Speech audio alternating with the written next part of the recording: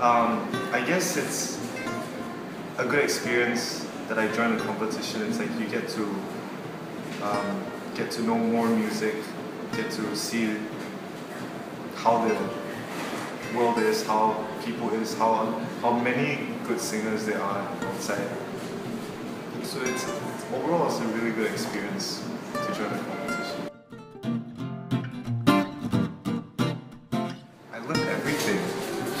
I learned um I'm not I'm not trying to brag but I think my vocal skills has improved a lot thanks to the teachers and um, my keyboard skills too.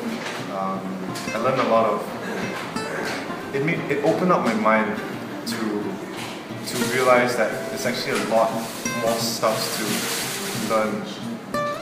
And yeah, the, the teachers are really good because they they kind of tune to how they should teach you personally. It's not like it's not like a fixed schedule, but they they tune to your personal needs and stuff like that. So I think it's it's, it's very good.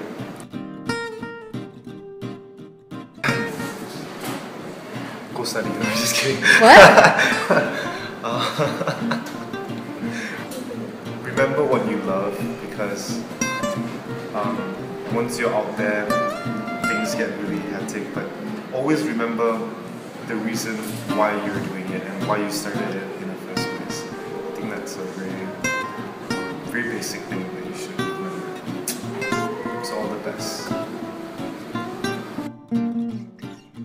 LWS Lee Wei Song School of Music Lee Wei Song Music，李伟松音乐学校。